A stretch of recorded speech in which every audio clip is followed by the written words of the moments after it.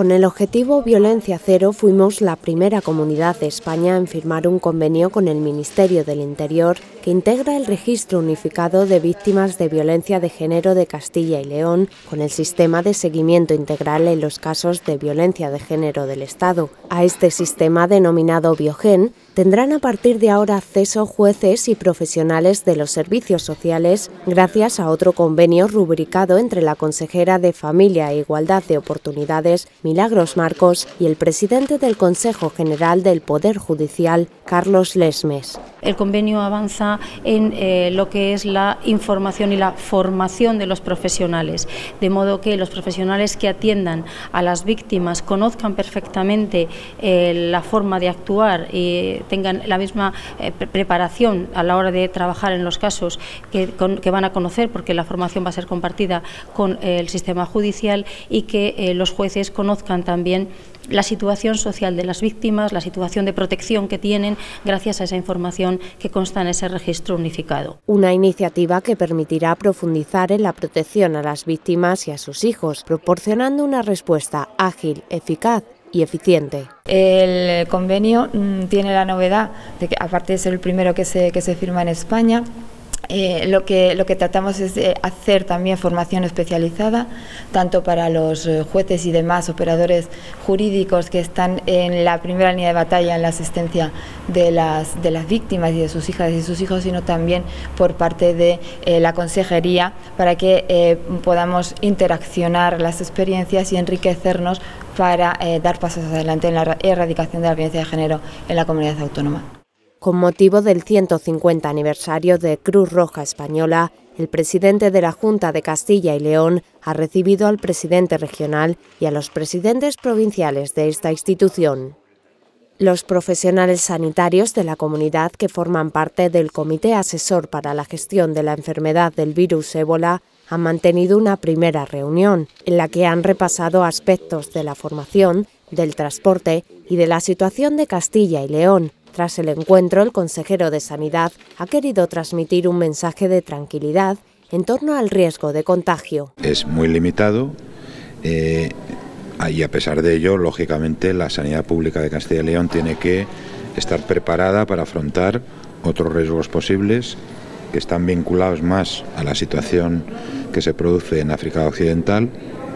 y que puede, pudiera en algún caso generar algún caso importado eh, que tendríamos en ese supuesto que atender, que contener y, y al que dar respuesta.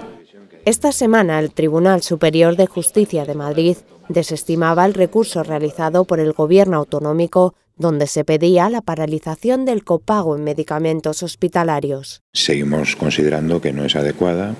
esa resolución que establece el copago de medicamentos hospitalarios por el tipo de pacientes a los que afecta, pacientes crónicos y con enfermedades graves, porque no debe ser disuasoria la medida. Al tratarse de enfermedades graves, los pacientes deben eh, realizar esos tratamientos y porque en términos de contribución a, a la sostenibilidad del sistema no aporta prácticamente nada. Castilla y León exhibe sus cualidades para liderar la producción, investigación y divulgación de la biomasa como energía renovable en la Feria Expo Biomasa 2014 más de 546 empresas de 25 países de todo el mundo que esperan la presencia de más de 16.000 profesionales en el mayor evento especializado de Europa. Antonio Silván y Tomás Villanueva han visitado este espacio que representa un sector de gran importancia medioambiental, energética y económica para la comunidad. La importancia económica desde el doble punto de vista, como un sector económico importante, un sector económico que representa ya en nuestra comunidad autónoma el 4% del PIB eh, regional y nuestro objetivo al año 2020 es que ese 4% eh, se eleve al 5% y también que como sector productivo eh, genere puestos de trabajo. Hoy el sector forestal mueve en torno a los 16.000 eh, empleos. El objetivo en el 2020 es llegar a los 20.000 eh, empleos. El viernes 17 de octubre, la Consejería de Agricultura y Ganadería autorizó el pago de 356 millones de euros a 74.239 agricultores en concepto de anticipo de los pagos de la política agraria comunitaria de este año. En un momento que además, eh, por eso también esto obedece a una razón que tiene una lógica y es apoyar, inyectar liquidez en el momento en que mayor desembolso tienen que hacer fundamentalmente los agricultores porque están afrontando eh, la campaña de siembra. José Antonio de Santiago Juárez ha informado en la rueda de prensa posterior al Consejo de Gobierno de la aprobación del decreto por el que se mejora el registro de facturas, que persigue un triple objetivo. Por un lado, dotar de un mecanismo más eficaz al control interno, por otro, reducir trámites administrativos y, por último, incrementar la transparencia, ya que los proveedores del Ejecutivo Autonómico de, la Junta de Castilla y León podrán consultar la información sobre el estado de sus expedientes cuando lo deseen. Ante el incidente ocurrido en seis comedores escolares de la comunidad, el consejero de Educación ha dado explicaciones e informado de que la salubridad de los comensales se encontraba garantizada. Que desde el primer momento la Consejería de Educación exigió a la empresa una garantía de normalidad y de control de los comedores escolares para conocer que no se ha producido ingesta de sopa, así me lo certifica la empresa. La Junta impulsa el mayor proyecto de difusión internacional del legado cultural de Santa Teresa a través de la Biblioteca Digital Teresiana, que ofrece la posibilidad de consultar más de 200.000 documentos. Es un repositorio que organiza, archiva, preserva y difunde las principales obras tanto de la propia Teresa de Ávila como sobre su obra, su vida y su influencia a lo largo de todos los siglos.